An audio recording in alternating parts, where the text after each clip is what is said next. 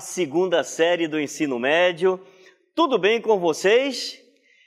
Eu sou o professor Rosângelo Assis de Projetos Integradores. Vamos ver o que vai acontecer nessa aula? É a aula de número 13. O nosso objeto de conhecimento: direitos humanos e cidadania. Na área de conhecimento, nesse detalhamento, nós vamos conversar sobre ciências da natureza e suas tecnologias. E aí tem a pergunta: as características biológicas, étnicas, estéticas e de gênero podem interferir na promoção da equidade e no respeito à diversidade na construção da cidadania? De que maneira? Vamos à nossa aula? Venham comigo.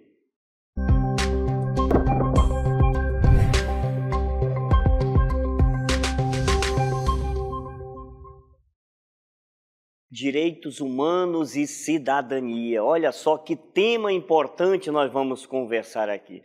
Nós estamos vendo aqui, né, esse painel aqui ao nosso lado, uma teia. Isso é uma teia.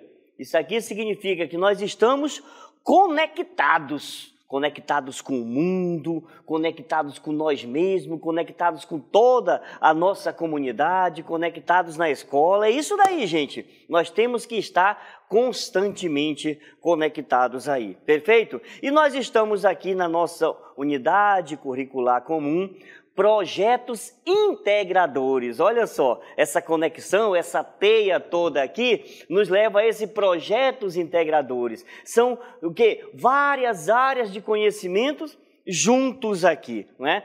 E nesta aula nós vamos conversar sobre o nosso tema integrador, que é mediação de conflitos na área de ciências humanas e sociais aplicadas. O nosso projeto, né, o nosso projeto de número 3 é o que?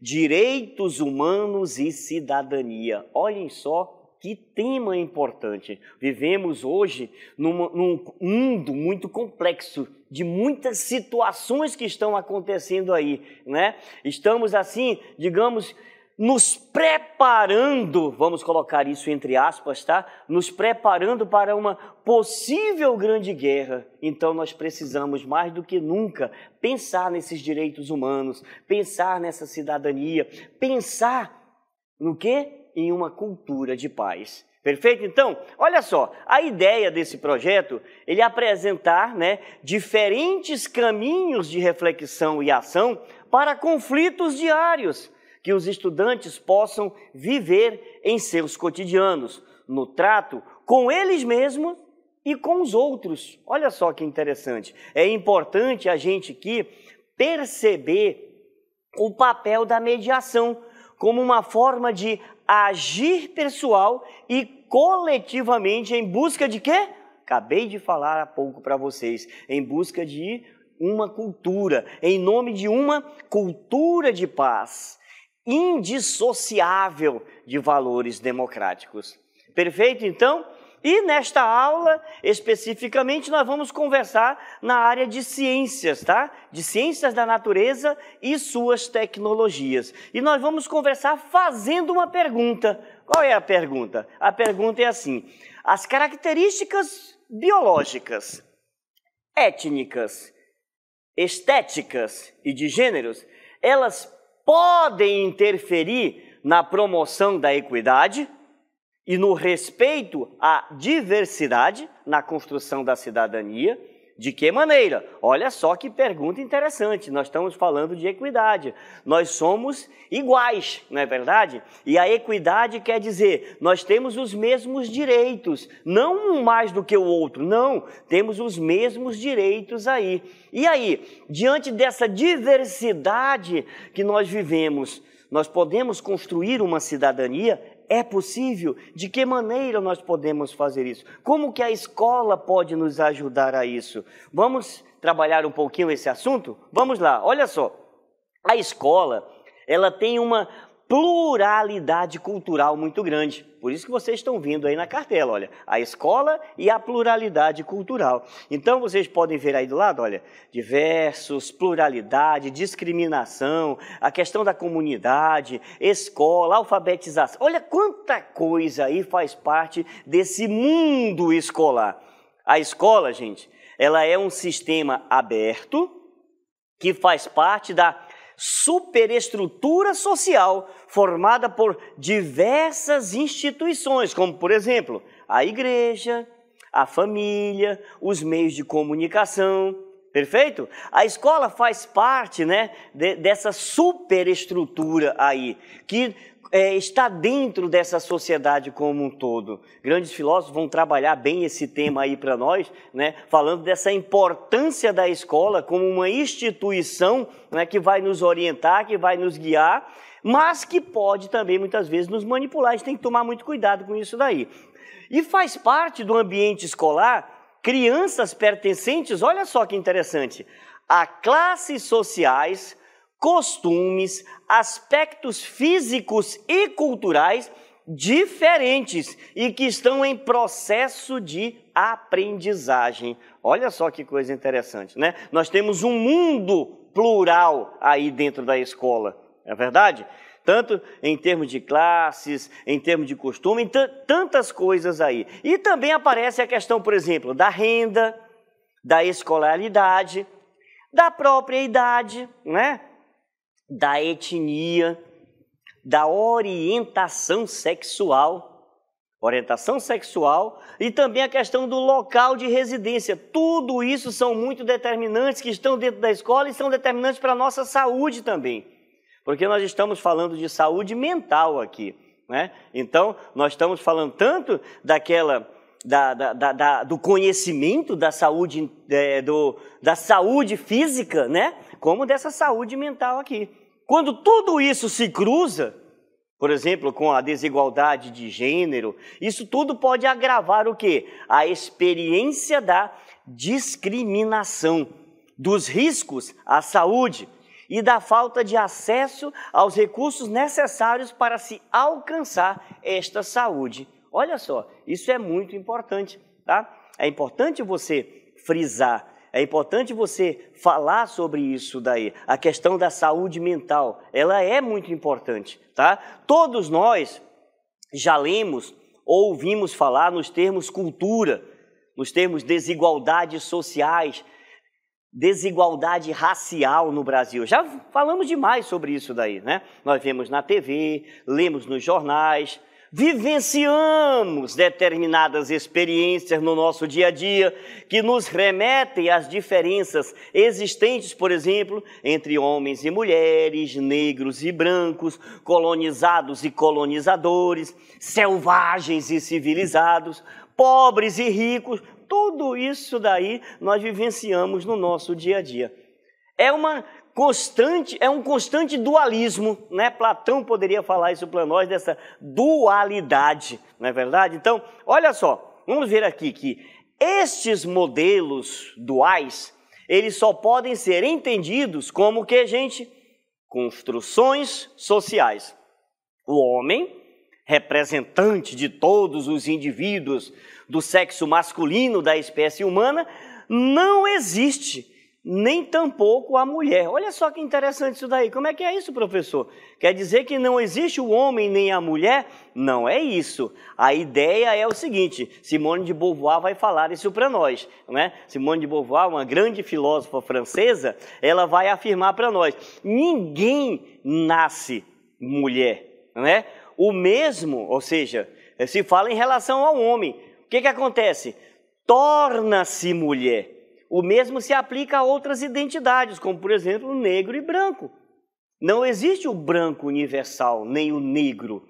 O que? Somos brancos ou negros em uma determinada o quê? sociedade, onde existe essa classificação de cor. Perfeito? Então, é essa a ideia. No momento, olha só, isso é filosofia aqui, tá? É a ideia do ente, é a ideia do ser em si. Olha só que interessante, né? Nós estamos filosofando aqui. Tá certo? Porque no momento em que eu nasci, eu não nasci homem, mulher, negro, branco, amarelo, sei lá. Eu nasci ser. Eu sou um ser em si. Olha só que importante. A partir daí é que a sociedade vai trazer essas classificações aí: negro, branco, pobre, rico, né? Civilizado, não civilizado. É a sociedade que vai trazer isso aí para nós. Perfeito, então? Muito bem, vamos continuar aqui para entender melhor. Olha só. Apesar destes modelos estarem próximos da nossa realidade, nem sempre temos o domínio ou a real compreensão da amplitude do debate em torno de tais questões. Gente, isso é muito importante. Né? Nós falamos de homem, mulher, de negro, de branco, do índio, do não índio, né? então do europeu, do... nós falamos de tudo isso daí. Só que muitas vezes nós não temos a real ideia do que é isso. Nós não paramos muitas vezes para discutir. Isso significa dizer o quê? Por exemplo, entre esses polos em oposição aí, homem, mulher, negro, branco, pobre, rico, há um universo de situações e experiências que devemos observar atentamente. Temos que estar atento a isso daí. Temos que procurar perceber, entender isso daí. Perfeito? Vamos continuar aqui, olha só. O que, que está próximo de nós, em geral, nós desconhecemos ou não compreendemos. Isso é muito interessante. O fato de sermos homem ou mulher não significa a total compreensão do universo masculino ou feminino. Não é verdade isso? Ah, eu sou homem, ah, eu sou mulher, mas será que eu me entendo? Eu entendo qual era a ideia de ser homem, de ser mulher? Será que eu consigo ver a real eu consigo ter a real compreensão do que é ser um ou ser o outro. Por exemplo, se nós estivermos dentro de uma floresta, né? Nós não temos a real dimensão do tamanho daquela floresta. Alguém já se perdeu no mato? Eu já me perdi. E eu sei o quanto é complexo isso daí. Né? Porque eu não tenho a ideia do, do, tamanho daquilo, da complexidade do ambiente. Então é essa a ideia. Se pensarmos, por exemplo, nos aparelhos eletrônicos, televisão, celular, o aparelho de som, que nós sabemos operar, mas nós o que? Desconhecemos a sua engrenagem. Nesse sentido, gente, é importante o que? Introduzir e debater o tema das diferenças e das desigualdades. Por meio de quê? dos conceitos científicos produzidos pelas ciências humanas e sociais. Vou repetir isso aqui. É muito importante debater esses temas, trazendo os seus conceitos, porque às vezes a gente debate pelas opiniões, né? Hoje, nesse mundo midiático que nós vivemos, tudo está baseado em muitas opiniões, né? Nós estamos aí, nós estamos aí cheios, né, de, vamos dizer, de influenciadores que vão dando as suas opiniões e a gente vai obedecendo, a gente vai aceitando, a gente vai sem ter a quê? Mais uma vez, aquela real compreensão do todo. Isso é muito importante aí, tá? Esses conceitos, eles vão nos auxiliar a pensar nas chamadas questões, por exemplo, étnico-raciais. Que questões são essas, gente? Vamos entender um pouquinho a ideia dessas questões étnico-raciais? Vamos ver aí. Olha só, quando nós falamos dessas questões étnico-raciais, nós pressupomos o quê? O entendimento de raça e etnia e da existência de um dilema. Que dilema é essa? A conciliação da unidade biológica e a grande diversidade cultural da espécie humana. Pararam para pensar nisso daí? Olha só, nós temos uma unidade biológica, não é? Nós temos essa unidade biológica, mas nós temos uma diversidade muito grande de culturas. Nós temos uma, uma diversidade muito grande de diferentes, não é verdade? E aí, só que muitas vezes ao longo da história, ao longo da história da humanidade, essas diferenças muitas vezes foram colocadas como questões que precisavam ser o quê? Não só discutidas, debatidas, mas também eram questões que geraram, vamos dizer assim, preconceitos, geraram diferenças, geraram barreiras, afastamentos de culturas que, inclusive, eram próximas umas das outras. Vamos entender um pouquinho isso daí. Olha só. Quando nós falamos a unidade biológica e a diversidade cultural da espécie humana, acreditava-se o quê? Que a humanidade era formada por raças diferentes entre si, tanto do ponto de vista biológico como do ponto de vista psicológico, tá? Então, raças diferentes entre si. No campo social, então, vão fazer o quê? Vão surgir as chamadas teorias racistas, que vão pressupor o quê? Uma hierarquização entre os seres humanos. É bem interessante essa discussão aí. Durante o século XIX, por exemplo, as ciências biológicas elas formulam o atualmente superado conceito de raça. Isso é lá no século XIX, tá? O que, que acontece? Eram desiguais, nessa perspectiva, eram desiguais um valor absoluto, mas também né, diversas nas suas aptidões particulares. Essas ideias foram adotadas pela ciência social da época para explicar as diferenças entre as culturas. Perfeito? Cabe lembrar que essas afirmações foram contestadas pela genética moderna.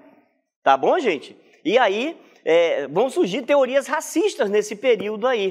Tá? Algumas teorias racistas elas vão, vão aparecer justamente a partir dessa concepção.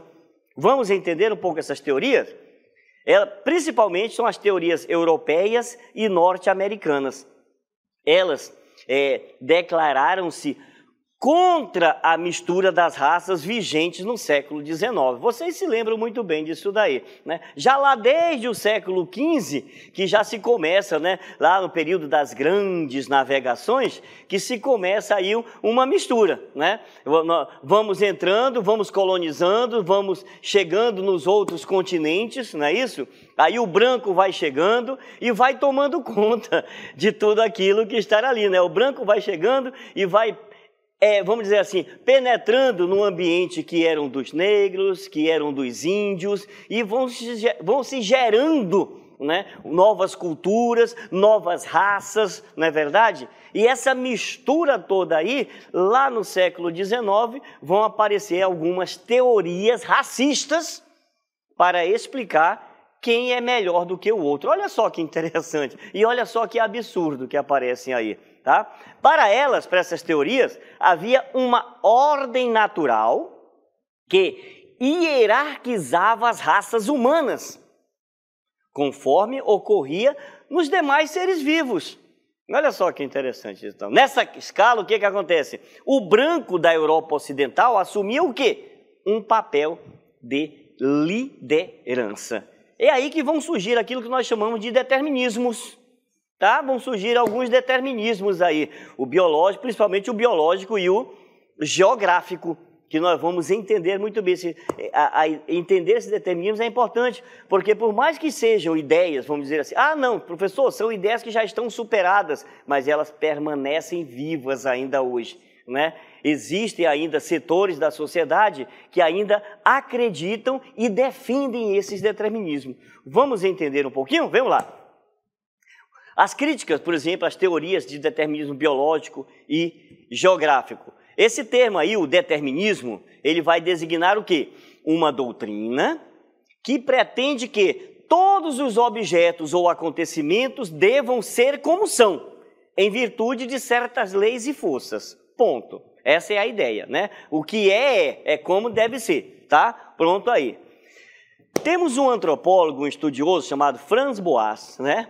Que vai dizer assim, assim, olha só, ele, ele é contra isso, ele faz uma crítica a isso daí, ele vai dizer, cada cultura é dotada de um estilo particular que se exprime por meio da língua, das crenças, dos costumes e também da arte, mas não apenas dessa maneira.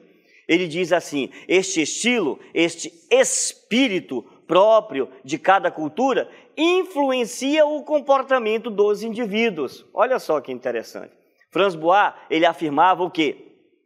A importância de cada cultura e exaltava o respeito e a tolerância em relação a culturas diferentes. Bem interessante, né? Respeito e tolerância em relação a culturas diferentes. Não é igual a mim, mas tem que ser respeitado. Não é igual a mim, mas tem que ser tolerado. Não prega a mesma crença que eu, mas tem. Quantas guerras poderiam ser evitadas, né? Quantas, é, é, quantas brigas, vamos dizer assim, no popular claro, né? Poderiam ser evitadas. Quantos atos de violência se nós entendêssemos bem esse conceito aí, né?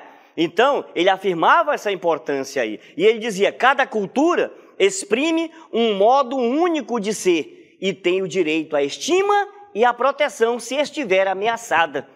Olha só, gente, as pesquisas de Franz Boas, a partir de 1920, por exemplo, eles rompem com a noção dessa evolução, dessa hierarquização das culturas, tá bom? E Franz Boas, ele faz escola aqui no Brasil também, por exemplo, um sociólogo, antropólogo cultural bem importante aqui no Brasil, Gilberto Freire, vai trabalhar também essas teorias aí. Perfeito? Então, vamos entender um pouquinho esse determinismo geográfico agora? Vamos lá. O conjunto de teorias que explicariam a diversidade humana a partir da influência do meio ambiente nas populações. Olha só que interessante. Esta interpretação, ela despreza a existência da diversidade cultural localizada no mesmo ambiente físico. Ou seja, consideramos, por exemplo, um de determinismo geográfico, as diferenças culturais entre as regiões aqui no Brasil, norte, sul, sudeste, centro-oeste, nordeste, né? Tudo isso daí seria um determinismo geográfico, que seria o quê? Explicada pelas diferenças climáticas, pelas diferenças ambientais, entendeu? Então, uma região vai ser mais desenvolvida do que a outra, dependendo disso. Olha só que, que coisa, né? Isso é o determinismo geográfico. O biológico, ele diz o seguinte, é a influência, o condicionamento genético ou biológico na produção da cultura. Nesse caso, o que, que a gente vai fazer o quê? Apontamos que a divisão sexual é construída culturalmente e não geneticamente, como acreditavam os deterministas biológicos. Isso é muito importante, tá? Para o determinista biológico, o sexo faz diferença, homem ou mulher, né? Mas não é assim que funciona, né? É a ideia cultural como um todo que vai funcionar. E aí a gente vai criando muitos preconceitos por causa disso. Ah, é homem, ah, é mulher, então fez isso porque é homem, fez isso porque é mulher. Não é assim que funciona. Tá? A gente sabe que não é assim que funciona. Perfeito, então? Muito bem. Vamos entender um pouquinho, então, os conceitos de raça e gênero. É interessante e é importante a gente entender isso daí, tá? De tudo isso que eu venho falando aí para vocês, a gente vai cair nesses conceitos aqui raça, tá? a noção de raça, por exemplo, foi elaborada lá pelas ciências biológicas do século XIX, para explicar o quê? As diferenças existentes entre os homens, tá bom? Era essa uma ideia. Posteriormente, ele foi superado com a constatação de que da igualdade existente na humanidade. Então, tornou-se o quê? Incompatível essa ideia de diferenças biológicas dentro de uma mesma espécie. Olha só que interessante. E o gênero, professor? Bom, o gênero, pessoal, é uma construção social.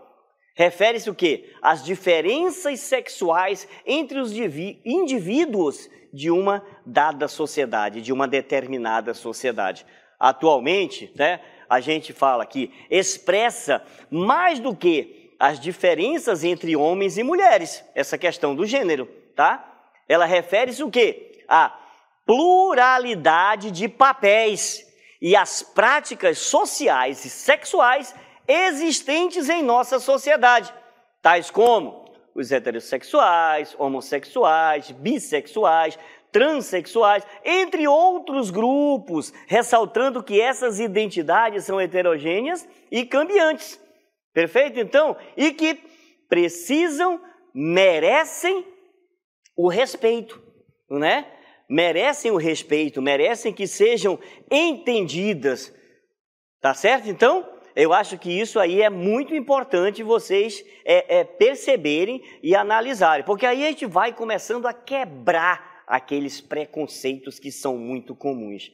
Porque muitas vezes nós não entendemos o todo. Olha que eu vou repetindo isso várias vezes. Nós não entendemos o todo. E aí acabamos criando esses preconceitos aí. A ideia do preconceito é justamente isso, né? É um conceito antecipado. O nome já está dizendo. Pré-conceito. Então, um conceito. Eu nem conheço a coisa em si e eu já criei, né? É, uma barreira em relação a isso daí. Perfeito, então? Vamos entender o que é etnia, então? Olha só, é o termo empregado para designar um grupo social que se diferencia de outros grupos por sua especificidade cultural. Junto com etnia vem o termo etnicidade. O que, é isso? É um neologismo, tá? Ele surgiu no âmbito dos estudos sobre essas relações interétnicas, lá no início da década de 60. Vamos já entender o que é esse neologismo aí. E o neologismo ele é o quê? É uma atribuição de novos sentidos a palavras que já existem na língua. Então já fala de etnia e aí a etnicidade é dado um novo sentido aí. Ele é inseparável do conceito de grupo étnico, podendo ser definido como a condição de pertencer a um grupo étnico. Tá perfeito então? Então, quando nós falamos de é, etnicidade, nós estamos falando o quê? E, é, essa constituição desses grupos étnicos na diferenciação cultural dos indivíduos, não é verdade? Na criação de laços sociais entre os que partilham, por exemplo, de uma cultura comum. Tá bom então? Perfeito então? Vamos fazer o seguinte, pessoal? Fique ligado aqui que eu vou fazer um resumão aqui para vocês disso daí. Venham comigo, olha só. Vamos lá então, gente, olha só. Fique ligado aí comigo, tá bom? Os direitos são o quê? São os benefícios que uma pessoa possui. Nós temos o direito à vida, nós temos direito à educação, nós temos direito de ser respeitado, Tá? Então, ao longo dessas aulas, nós conversamos bastante sobre essa questão dos direitos. Eu tenho direitos e eu tenho muitos direitos. Perfeito? Então, então o que, que acontece? Esses direitos, eles existem para que cada um de nós tenha uma vida digna, uma vida decente. Só que tem um detalhe: nós não temos só direito, a gente tem que entender isso daí. Porque muitas vezes nós buscamos só os nossos direitos, mas esquecemos que também nós temos deveres. E esses deveres são o quê? São obrigações que devemos cumprir para vivermos em sociedade. Vocês imaginem dentro de uma sociedade todo mundo fazendo o que bem entende, não é? Seria uma guerra de todos contra todos, né? O famoso Leviatã de Hobbes, não é isso daí? Então a gente tem que tomar muito cuidado. Nós temos direitos, mas nós temos também deveres a cumprir dentro desta sociedade aí, tá bom? E a ideia dos direitos humanos é justamente isso. Eles visam o quê? Garantir a dignidade e a integridade da pessoa especialmente frente ao Estado e suas estruturas de poder. Isso aqui é muito importante, tá? Esses direitos, eles nos protegem diante do poder, diante da estrutura do Estado. O Estado está aí para, vamos dizer assim, cuidar da gente, mas muitas vezes ele abusa disso e os direitos humanos estão aí para nos dar essa proteção também. E aí surge a questão da cidadania, que ela vai fazer o quê? Assegurar o equilíbrio entre esses direitos e esses deveres do indivíduo em relação à sociedade e da sociedade em relação ao indivíduo. É muito importante que vocês entendam, que vocês compreendam isso daí, tá? O que, que é ser cidadão? Ser cidadão é perceber que você tem direitos, mas também é entender e perceber que, como indivíduo, você também tem deveres em relação à sociedade. E o contrário também acontece. A sociedade tem direitos e tem também deveres em relação ao indivíduo. É isso aí, pessoal. Eu espero que tenham conseguido entender e acompanhar né, esse nosso tema sobre direitos humanos. Tão importante e vamos dizer assim, concluindo essa nossa aula, tão machucado né, no, no, no seu dia a dia aí. Muitas vezes realmente é, é pisoteado. Nós precisamos ter essa consciência e essa compreensão da importância que são esses direitos humanos. Até a próxima.